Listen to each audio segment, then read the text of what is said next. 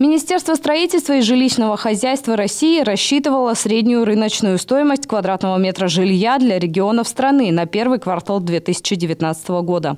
Для Тувы этот показатель составил 40 580 рублей за квадратный метр, сообщается в приказе Минстроя.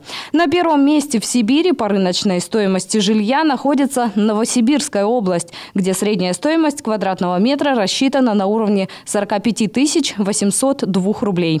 Следом Следом идет Красноярский край с показателем 44 578 рублей. Замыкает тройку самых дорогих сибирских регионов по средней стоимости квадратного метра Томская область – 42 880 рублей.